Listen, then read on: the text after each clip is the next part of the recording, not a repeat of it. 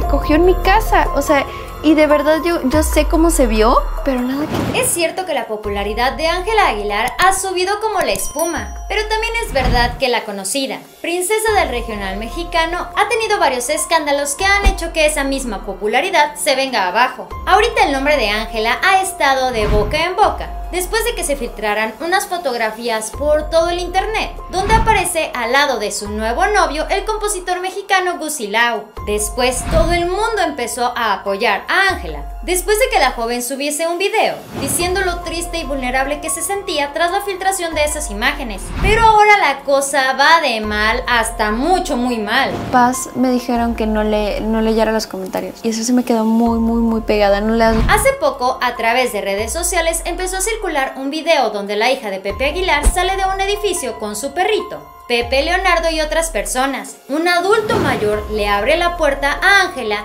y ella sale como si nada. El público empezó a señalarla de no ser agradecida con este adulto mayor, para mínimo voltearle la cara y decirle, señor, muchas gracias, qué amable por abrirme la puerta. Si les dos malos te baja, quédate normal, quédate tranquila, quédate al nivel donde tienes que estar. El público en general empezó a señalar a Ángela como una total maleducada. Le empezaron a decir que era una arrogante, y hasta la tacharon de odiosa. Si bien algunas personas le echaron toda la responsabilidad de la actitud de Ángela a Pepe Aguilar y a Nelis, lo cierto es que ninguna de las personas que iban saliendo de este edificio voltearon a ver al Señor para decirle gracias. Cada cosa que haces, o sea, alguien va a encontrar una forma de voltearlo, criticarlo.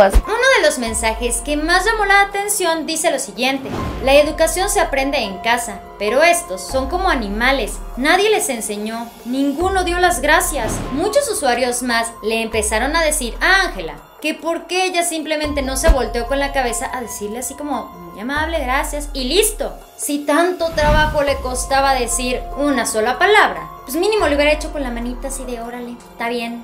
A que me inspiran y que me llevan por el bien camino. Y mi papá de verdad sí me sabe controlar. Al final de cuentas, como con cualquier escándalo, Ángela tuvo que salir a dar la cara y explicar el motivo de su conducta en ese momento. Ella señaló que no hizo nada malo, pues al parecer este hombre es un empleado de confianza que lleva muchísimos años trabajando para su familia ella dijo que de ninguna manera se portó mal educada con él. Con mi psicóloga al respecto porque ella decía, ¿cómo es posible? Y si no tienen psicóloga o... A través de una pequeña entrevista, Ángela Aguilar comenzó a decir, ¿quieren saber quién es ese viejito? Yo conozco a ese viejito desde los dos años. Se llama Tito.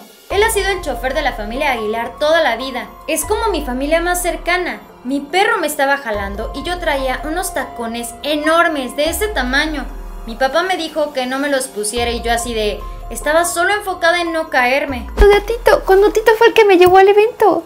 Y cuando Tito fue el que me recogió en mi casa. Ángela, en pocas palabras, explicó que como a este señor ya lo había visto momentos antes de llegar a ese lugar, por eso no le dio las gracias ni lo saludó. Pero a ver, por más familiar, por más cercano que sea, aunque sea tu papá quien te abre la puerta, pues mínimo le dices gracias, ¿no? Esto fue Famosos de cerca. Dale like a este video, suscríbete y síguenos en Facebook. Espero que tengas un excelente día. Nos vemos muy pronto. Bye.